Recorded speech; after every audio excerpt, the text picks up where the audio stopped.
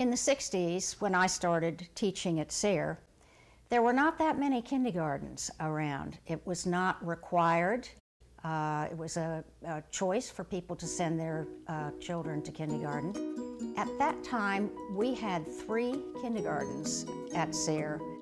So it was uh, obviously we were doing something that was the right thing to do for these children.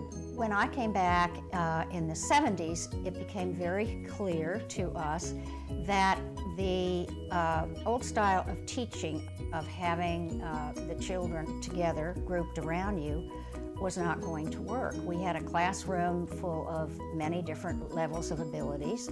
So we came up with the idea of building a loft. We had limited space at this time, and the loft provided these areas where the kids could go and one group could be working on something in part of the loft, uh, another group in part of the uh, room, where uh, the teacher uh, could be working with a group one on one. You introduced differentiation in the classroom before it became a buzzword mm. in education.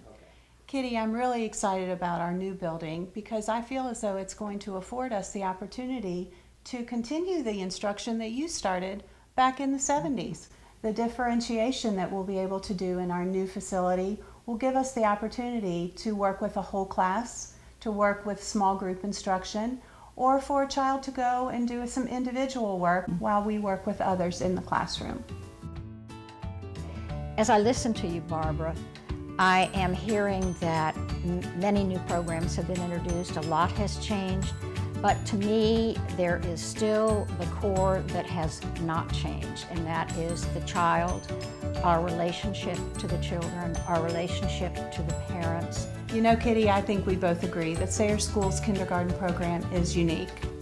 Well, and how exciting it is to look forward to the new building. Absolutely.